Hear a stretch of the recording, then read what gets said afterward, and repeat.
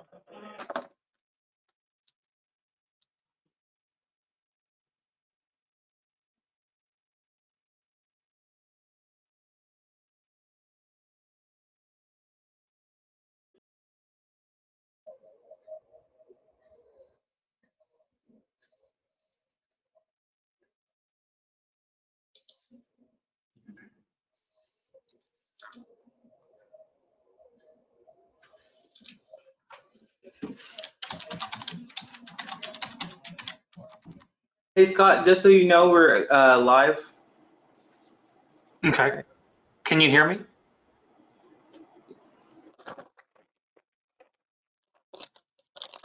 So I want to thank everyone for being here today. Uh, my name is Nicholas Gellery. Uh, I go by Gilly. My pronouns are he, him. I'm a Garner Fellow for Lambda Legal and sit on the board of the Transgender Legal Aid Clinic Houston. Um, first off, I want to acknowledge that this is a very stressful time. As a trans person from Texas, I completely understand. Um, but just so that you all know, um, I, along with other panelists, are continuing to do everything we can for the community. On that note, let me introduce our uh, organizational partners. We have Doctors for Change, Lambda Legal Resource Center, and the Transgender Legal Aid Clinic Houston. So today we'll be talking about why this update is needed, uh, where, uh, how you can get support, what actions to take, and what's next. And on that note, here's Shelly Skeen on why this update is needed.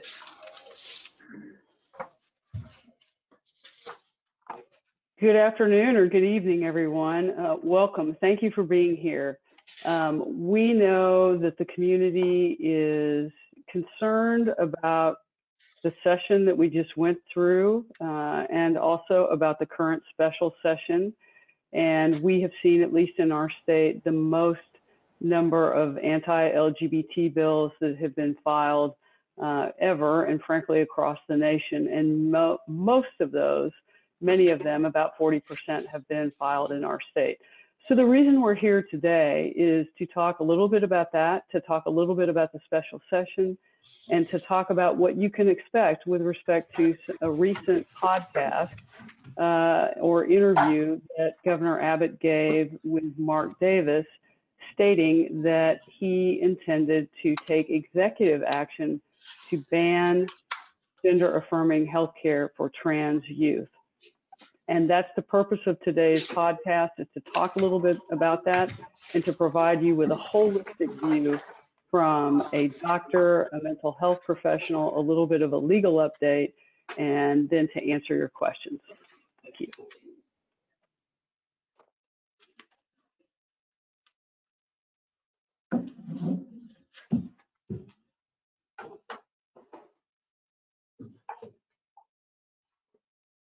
Hey, everybody. I'm uh, Scott Martin, an LPC supervisor at Resource Center. I'm also the director for their behavioral health.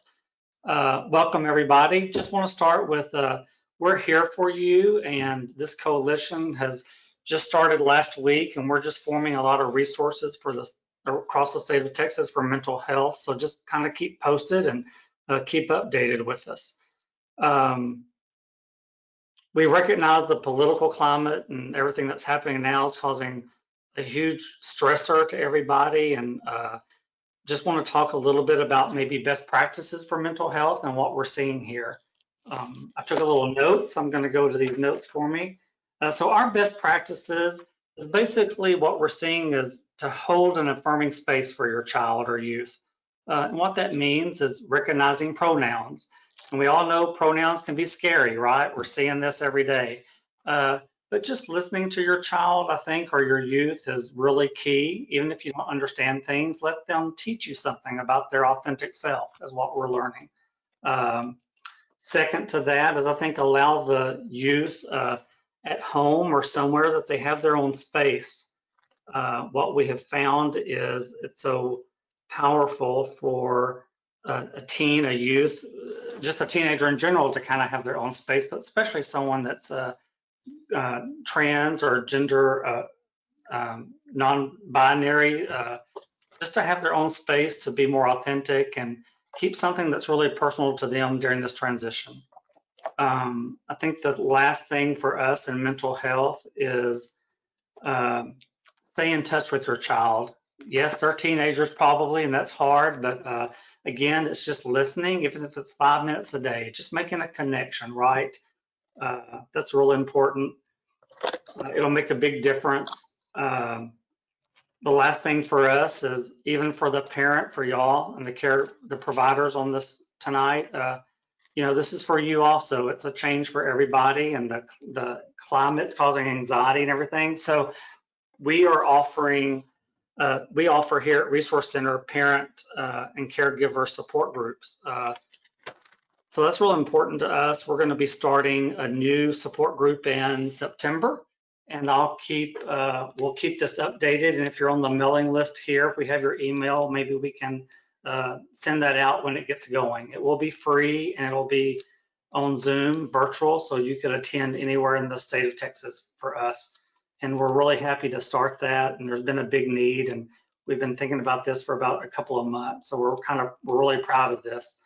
Um, at Resource Center, we have Youth First, which is a after-school drop-in program for uh, teens, uh, I think 12 to 17 actually, and uh, allies also. Uh, it's a great program. It does have a family component to it. There's Friday night dinners.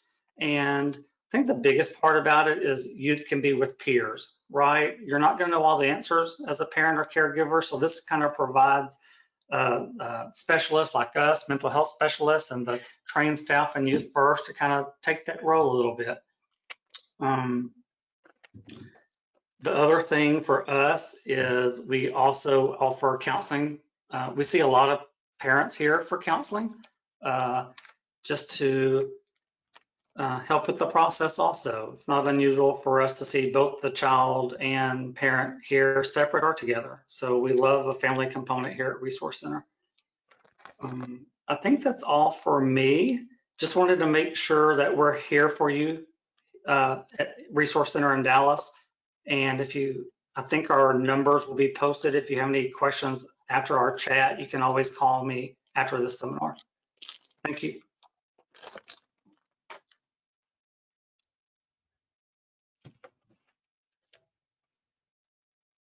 Awesome.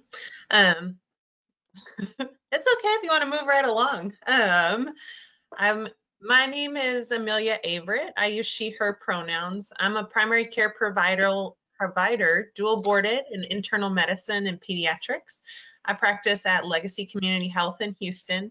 Um, and I also serve as the vice chair of the board of Doctors for Change, also here in Houston. Um, first and foremost, as we kind of get into medical care, best practices, and the importance of access for um, transgender and gender nonconforming youth and adolescents, is that I want to assure everybody on the call um, that there is energy and research in this field. And we as pediatricians are constantly re-examining and re-evaluating what these best practices are. As recently as 2018, the American Academy of Pediatrics released a statement on best practices in this field, which I used to research for this presentation. Um, it has influenced the education of new physicians going through training, as well as the ongoing medical education required of all licensed pediatricians. As a primary care provider, I feel it's my responsibility to ensure the safety and well-being of all of my patients what each patient needs in order to stay safe and what being well means for them is different for everybody and every family. And it requires a safe space and open, honest discussions to determine what these kind of metrics are for every individual and every family. As um, the research becomes more robust in this field, we've learned that gender is not only is not part of biology. Um, sorry, Gender is part of biology and development, and like with all of biology, diversity is normal and expected and really should be celebrated. Pediatricians should be asking all kids at all developmental nodal points about their gender as part of anticipatory guidance and screening. As part of a conversation about known developmental stages in childhood and adolescence, as y'all have all been through with your well child visits, Pediatricians should be engaging patients in conversations surrounding gender, rather than waiting for a kid to say that they're worried that something doesn't feel right or hopefully not, that it becomes a problem. Research has shown that watchful waiting um, is based on binary notions of gender in which gender diversity and fluidity is pathologized. It's assumed that notions of gender identity become fixed at a certain age, even though they start showing at as early as one years old and may continue to change over the lifespan. More robust and current research suggests that rather than focusing on who a child will become, valuing them for who they are, even at a young age, fosters secure attachment and resilience, not only for the child, but also for the whole family. Standards of care suggest that gender affirming care looks different for everyone, and only through discussions and that patient physician trust can the components needed be identified and facilitated. These may include the very safe and very reversible components of gender affirming care, such as social and legal affirmation, and even puberty blockers. The partially reversible component of cross-sex hormone therapy can also be considered. And of course, the more permanent component of gender affirming surgeries. But what all patients and families need differs, and best practices cannot dictate the affirming care plan for each individual, but instead empower a family to create their own and then do everything possible so that the provider can facilitate that plan in the safest way possible. Research has shown, unfortunately, that not providing this care has led to higher rates of depression, anxiety, eating disorders, self-harm, and suicide in transgender and gender nonconforming youth and adolescents. These youth confront stigma and discrimination that may force them to hide their gender identity for self-preservation and survival, even in the healthcare space, which eventually causes a decrease in accessing needed medical care. Outside of the clinical sphere, a lack of access to affirming care and affirming spaces leads to higher rates of homelessness, physical violence, substance use, and high rates of sexual behaviors as well. Because of all these reasons and so many more, and because all of your children are beautiful and should be celebrated as such, primarily the need to provide affirming care to all patients of all ages identified by patients and families, it is important for all pediatricians to address gender and development as an essential part of their primary care practice. And that's my spiel.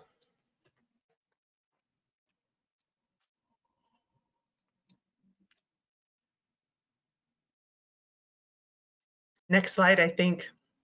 Yeah. Yes, you're right. Um, again, this is Gilly. My pronouns are he, him.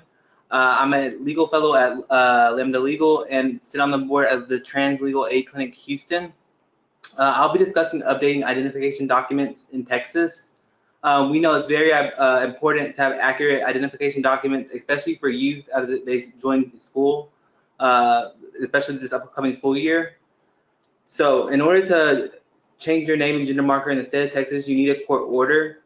Um, there's no law explicitly giving courts this authority, so many courts don't issue them. Um, we're lucky to have Travis County, uh, who has a streamlined process to kind of get this done. Um, so uh, today I'll be going through the process of in Travis County uh, about how to update your, uh, how to get this order um, so that you update your documents. So first, uh, the first step is to collect uh, to collect documents in support of your petition and order. For adults, you'll need a petition, order, fingerprints, and a doctor letter. For minors, you need a petition, order, birth certificate, doctor's letter, and a minor consent form if they're over the age of 10. So for doctor's letters, there's no surgery requirement. Uh, in fact, all that doctors need to say is that appropriate care and treatment in support of gender transition has occurred. Uh, additionally, for the petition and order, there are legal uh, aid clinics around the state of Texas that can help you uh, assist you in drafting those orders. You can do this yourself. Um, there's uh, templates online at Texas Law, uh, the Travis County Law Library. However, uh, there's many clinics around to help you with this process because it can be kind of complicated. So once you have your documents to e-file into Travis County, in for, uh, to e-file, you'll you can e-file anywhere throughout the state of Texas into Travis County. In four to six weeks after filing, you'll receive an email with a with your order, uh, assuming there's no extenuating circumstances. And, and this will include a request for certified copies. I suggest three to five because you'll need those in order to update uh, your documents in at each agency. This includes the uh, the driver's license office, the birth certificate office, as well as uh, with your ch- child school district. So this kind of wraps up the identification documents. Uh, but I think one important thing to focus on is that we have uh, clinics around the state that will help you with this process. In particular, I sit on the board of Transgender Legal Aid Clinic Houston. We have clinics um, every other month online, and we will assist you in drafting those documents and give you a step-by-step uh, guide on how to file into Travis County. Um, while this is the end of the document process, I would like to talk briefly about testifying. I understand it's very important to testify, especially when it feels like every session legislators are going uh, are filing harmful bills. I encourage, in fact, I encourage folks to testify uh, and share how these bills will impact them and their families. By emphasizing the impact that these bills have on your families, not uh, you are helping folks like Lambda Legal uh, when they decide to sue in order to prevent these bills from being uh, being uh, enacted. In particular, limiting the language, uh, limiting how much you disclose about this identification process that I just walked you through, um, will keep the focus uh, on the impact of the families and not on the process, so that we don't have uh, legislators going after this process. as I said before, there's no specific uh, law that grants courts the authority to do this, and we want to ensure that uh, that we're able to continue this process for trans folks uh, now and in the future. With that being said, I think it's a perfect time to introduce uh, Shelly Skeen again, and she'll just talk, uh, she'll discuss more about the legislator and uh, about some current cases. Yeah. Next slide. So my name is Shelly Skeen. I'm a senior attorney with Lambda Legal and Lambda works for full and lived equality for LGBT people and people who are living with HIV. We are the oldest and largest national organization that has done that. And in fact, we've been doing that since 1973. And so uh, let's talk a little bit more about what uh, has happened at the legislature. So during the regular session, what we saw with respect to what I'm going to call gender affirming care healthcare bans, so you'll hear me refer to these as healthcare bans, is really three sort of main buckets of legislation.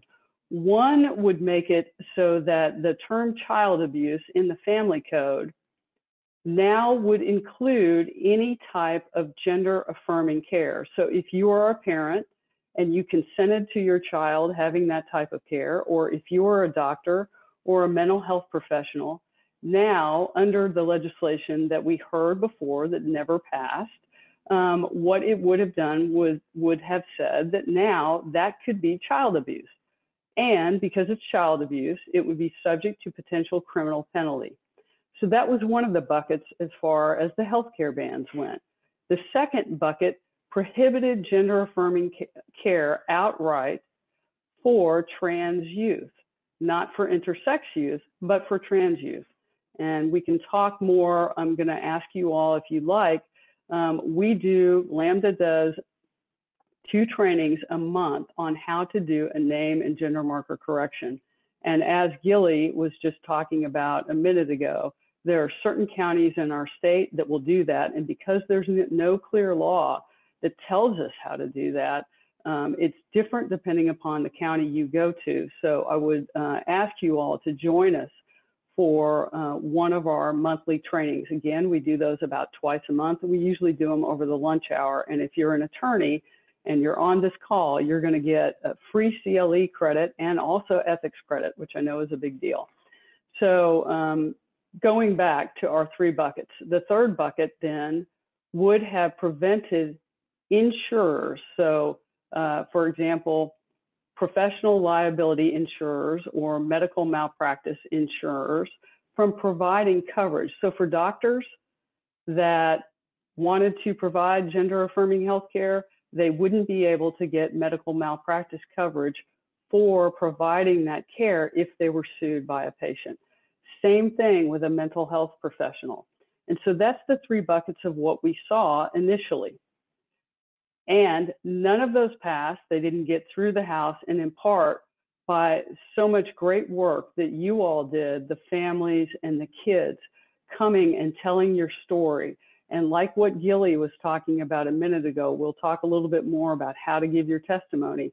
But what we want you to talk about when you testify is the impact on you and your family on legislation and how it might harm you. That helps us show and that helps us challenge a bad law if it is passed. So we'll come back and we'll talk a little bit more specifics about testimony in a minute. But none of those healthcare bans passed. Now we're in a special session. Special sessions are 30 days long. The governor calls special sessions. And in those special sessions, what he does is there are certain things that he lists as priorities that will be addressed during the special session. And right now, there are no priorities on the governor's call that include healthcare bans, but the governor can change the call at any point in time.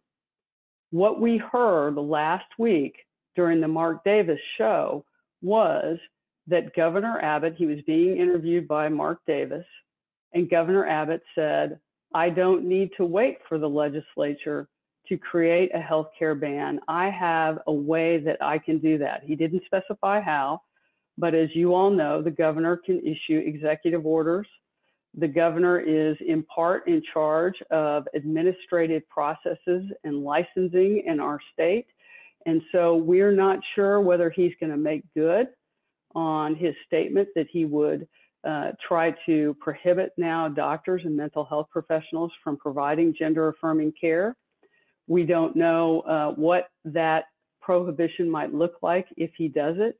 But the point of us being here and having this uh, call today is to let you know that you are supported. You're supported legally by Lambda Legal and the ACLU. During the regular session, Lambda Legal and the ACLU said that if bad legislation was passed prohibiting this kind of health care for trans youth, that we would sue. We're still here and we're still saying that if the governor takes action to prevent folks from getting the medically necessary best practice medical care that they need.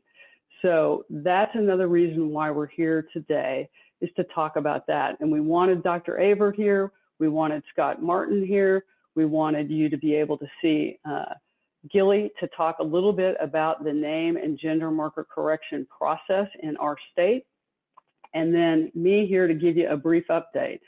So let me, now that I've kind of given you a little brief update about where we are, let's talk about what's happening nationwide, just really briefly. So we have seen two anti-trans athletes bills pass in Idaho and also in West Virginia. In both of those cases, neither of those laws ever went into effect. And that's in part by the great legal work of Lambda Legal and the ACLU. Arkansas passed a healthcare ban, not unlike what we could see here in our state. And the ACLU challenged that particular healthcare ban in Arkansas, and it didn't go into effect. So the point of me telling you about that, and then I'm going to tell you about one other bill out of Tennessee. Tennessee passed a piece of legislation that would have made it so that businesses that were open to the public had to put a sign on their business telling people that they were going to allow transgender people or people who were uh, gender expansive or gender non-binary to use the bathroom that matched their gender identity. That law also was challenged and did not go into effect. So the point of me telling you again, I want you to hear, if you don't hear anything else, these laws are not constitutional on a variety of grounds and none of them have gone into effect. So I want you to know we're going to do what we can. I can't guarantee that we're going to be able to stop it here in Texas right away or ever.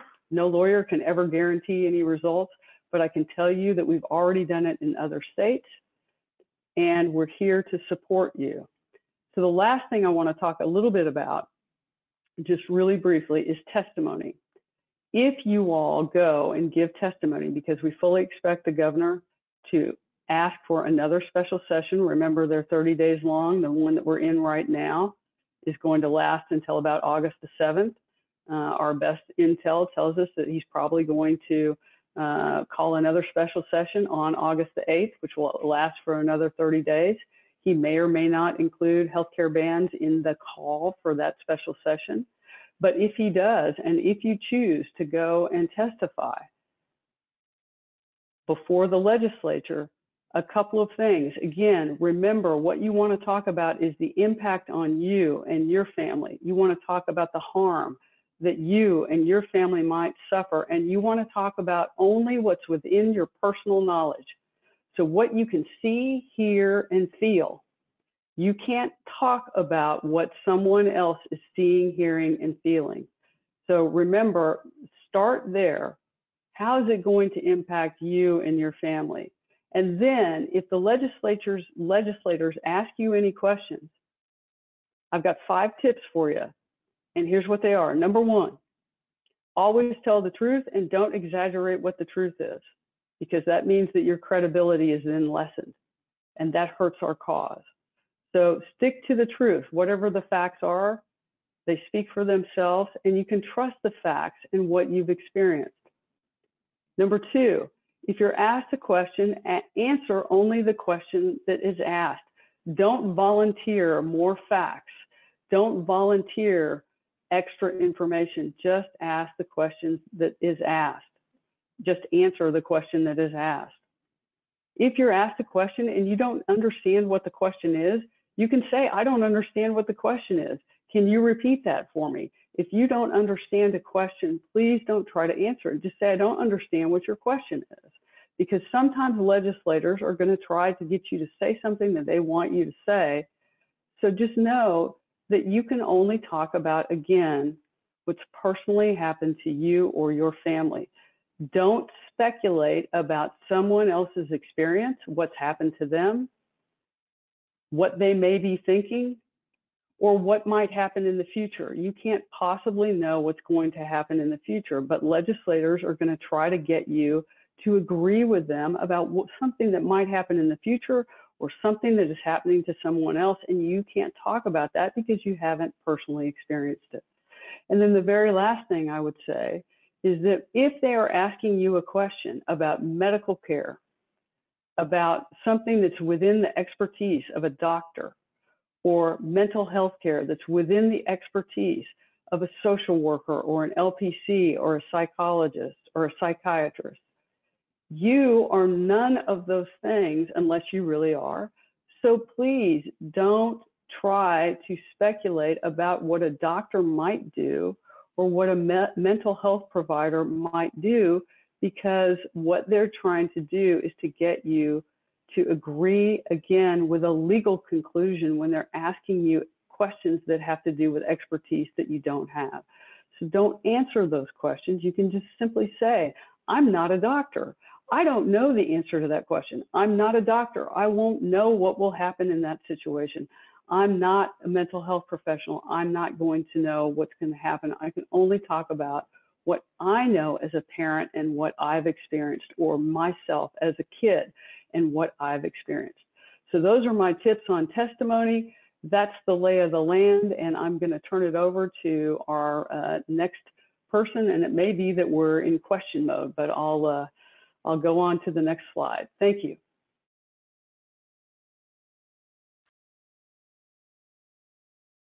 I think what, before we open it up to questions, we're just going to hit some highlights on um, steps we can all take to take action um, in this realm, in this sphere.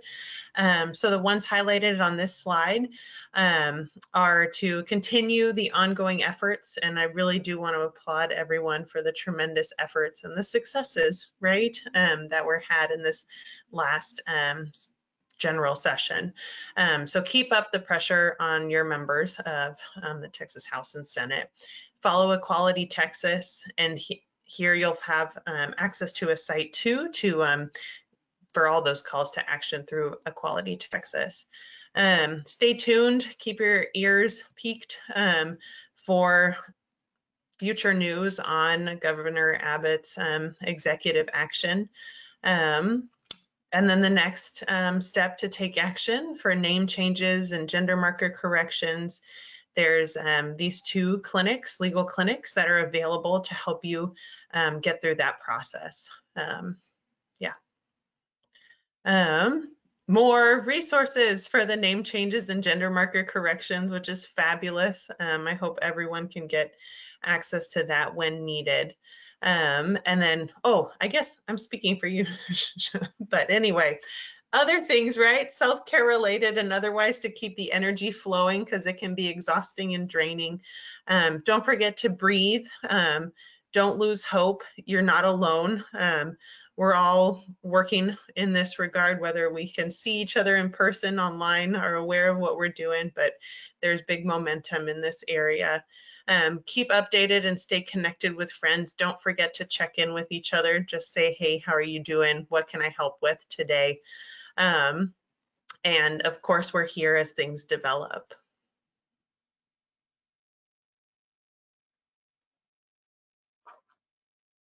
Scott, I'm not sure if you had anything to add to that, but if you do, and then I have one small add, but go ahead and I'll be quiet so you can add something if you have anything from your end.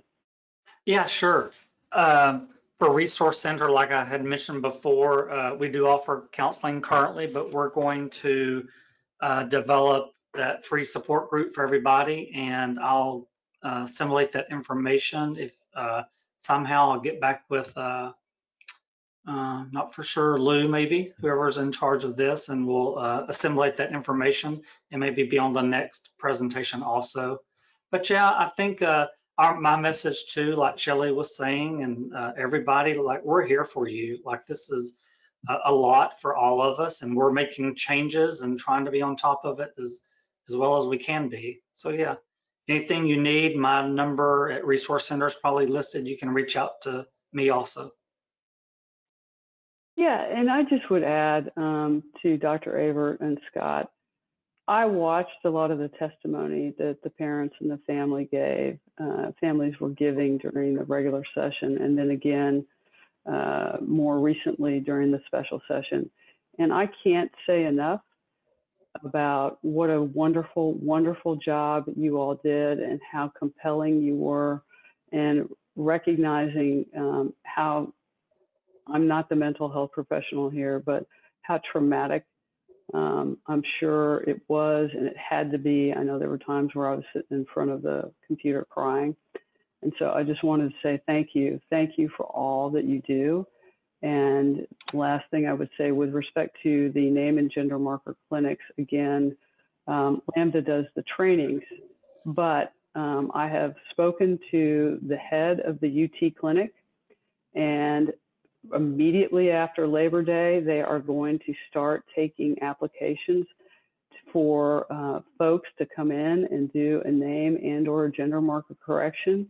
And they are well aware that we are doing these seminars and they're ready for you to reach out to them and to be a resource. And so we are all here to be resources for you.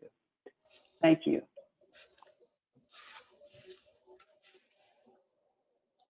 Um, I'd also just like to point out that these uh, sessions that that we did today, um, we plan to have these reoccurring uh, monthly or as, as, as things pop up.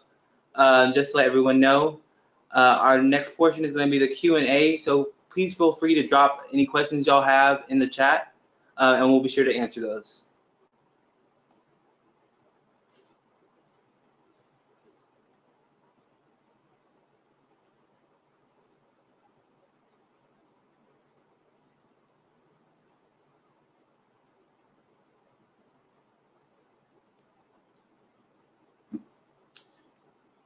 Okay, I did get one question about birth certificates.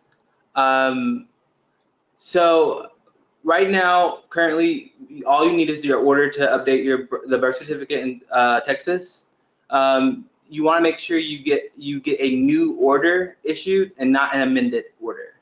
Um, that process is a little uh, a little complicated. You have to, uh, but it's pretty simple if you know what you're looking for. Um, if you go to the birth certificate office, they'll uh, direct you to a form online that you have to print and file and mail in. Um, I suggest uh, doing expedited shipping on that um, to get it done sooner because it can take a while, especially if folks are trying to get this done before the next school year. Can, can uh, Gilly, can you tell us what the question was? Or Um, I'm not seeing it, sorry, my chat's not quite right. I think uh, Lou had it, um, but I don't see any more questions. Uh, does anyone have any questions uh, now? So let me just add a, a quick thing about birth certificates. Um, when you get a court order here in our state, you go through the Texas, well, I call it dishes, but you go through the Texas uh, Bureau of Vital Statistics, and there is a form online.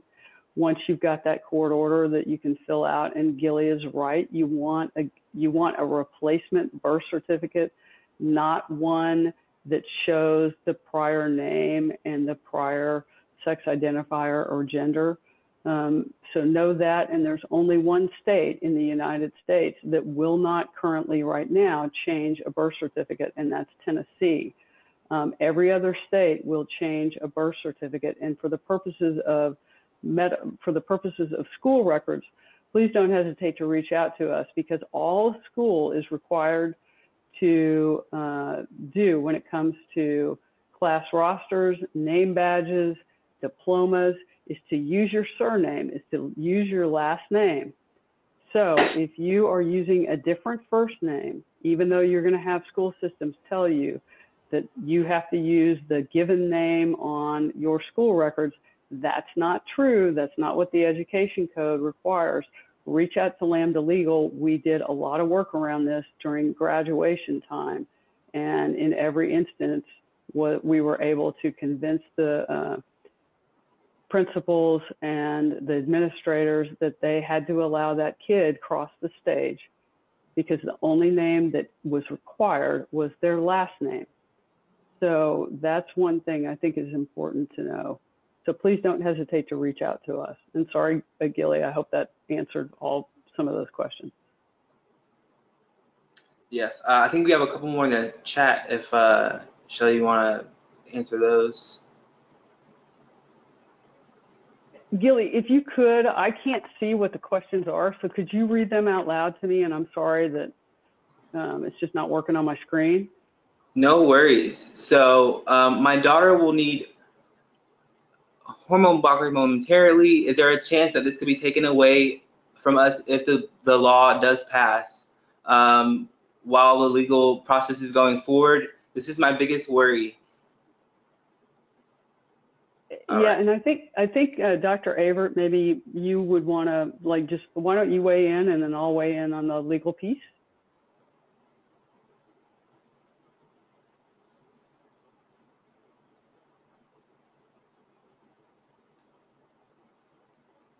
The computer almost let me not unmute myself. Um, so um, as far as the medical component, um, I understand the urgency um, in wanting to either initiate or continue um, puberty blockers um, as it can um, safely just delay one of the most distressing things that can happen to a gender diverse youth. I cannot speak to the kind of how the prescribing will be if we're in this legal limbo um, once the executive order, um, if it does um, go through. So I'm going to defer to you. Um, but yes, we will do everything we can to continue providing um, the evidence-based care that we already are for every patient that comes into our clinic. So. Yeah, this is Shelley. Um, we can't, so we can't know exactly what the governor's executive order is going to look like. Um, and so until we know what the governor's executive order is going to look like, um, we, I can't say for sure whether it would prohibit puberty blockers on or about what age. But if that's the case, uh, what I can tell you is that we're going to do our best to stop that from happening prior to the time it would go into effect. I can't say that we'll be able to do that because again, I can't guarantee any results, but I can tell you that when it comes to Arkansas, for example, the law in Arkansas that would have uh, made it a health, would have prohibited gender affirming care did not go into effect before it was stopped. So we do our best that we can do, we could do that, but I can't, I can't guarantee you that that won't happen. Um, but you know that we're all here on your side to do that. And I think I see another question. Now I think my chat is working because user error here. I don't normally use WebEx. Um, but I see a question that says, should you, can you get a new birth certificate with a name change without gender marker changed? So the short answer is yes, you can do a name change without a gender marker change, or you can do a gender marker change without a name change, or you can do both a name change and a gender marker change. And then Gilly, let me not trample on your feet.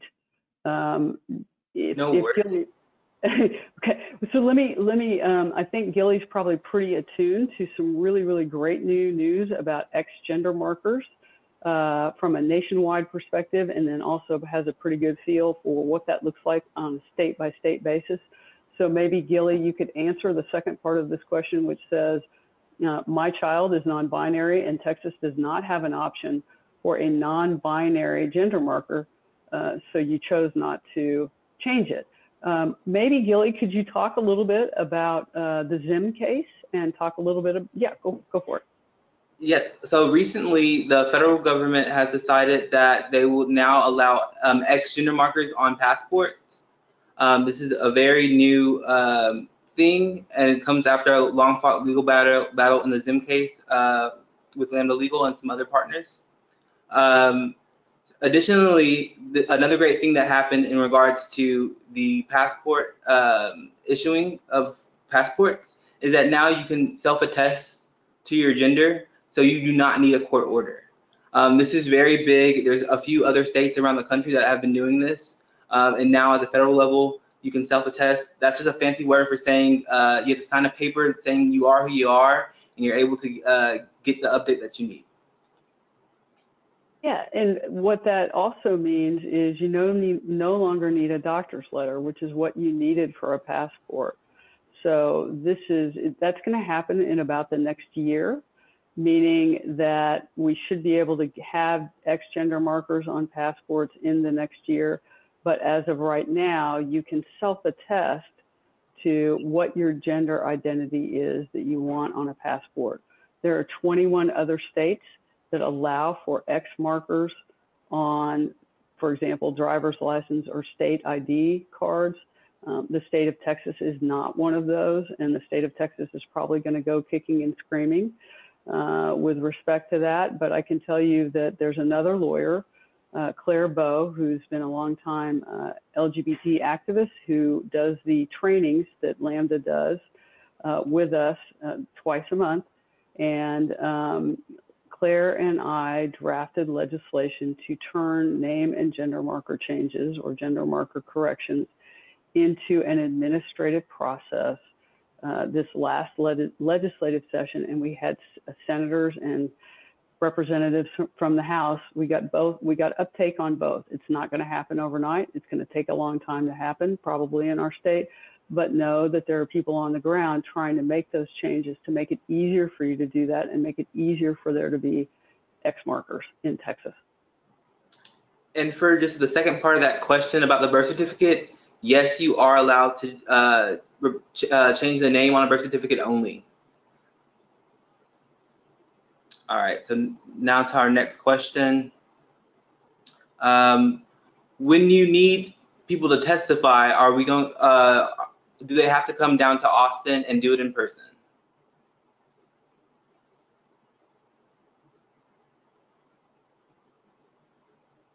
Uh, so the short answer is right now that is what's happening, but through the Equality Texas website, they both have a bill tracker. So you can go look and see what anti-LGBT bills have been filed during the special session. And They also have on their website a portal where you can write out your written testimony and they will then print that written testimony and take it to the Capitol and get it into the public record, which is part of what we need. It's not just that oral testimony um, that we need y'all to be doing, but it's also that written testimony. So while right now there's not Zoom testimony, and there really wasn't during the regular session, even when we were under lockdown, um, only certain individuals would be invited to give in-person testimony or Zoom testimony. Um, we'll see what happens with the pandemic, pandemic as we go forward. But go to Equality Texas's website, look at, for on the place on the website where you can submit written testimony, write about a page and a half about the impact on you and your family, personal knowledge, and then they will take care of it for us. Thank you.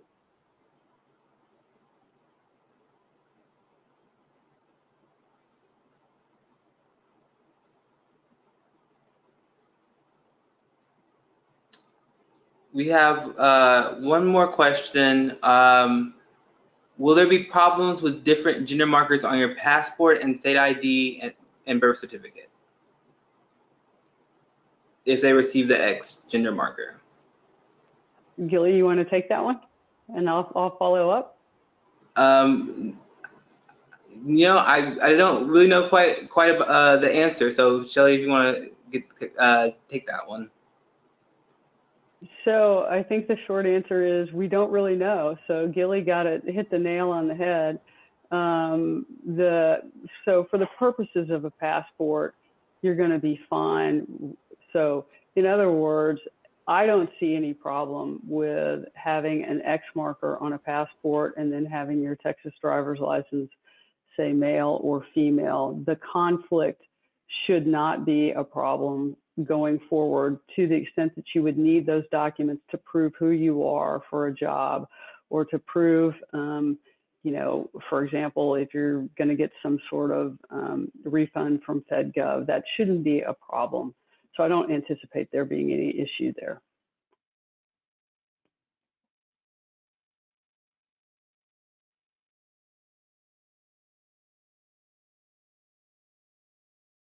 I think that was the last of the questions. Um,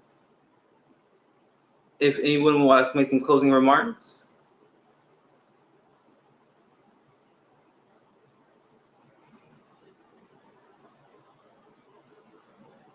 All right. Uh, I just want to thank everyone for being here today. Um, I think it's very important when we have uh, this information that we share with others uh, and that we go out and we seek this information. Um, so I want to thank our panelists today for uh, coming and speaking. I really want to thank um, everyone who came out and um, spoke, uh, everyone who came out and listened. Um, be sure to let other people know about uh, other ones that we are going to have, other panels. Uh, this should be recurring uh, either monthly or bi-monthly, but we will let you, let you all know, and we hope uh, that you'll come out next time. Thank you. And also, thank you, Doctors for Change, for hosting this as well. Special thanks. All right, thank you all for joining. Yeah, have a great rest of y'all's evening.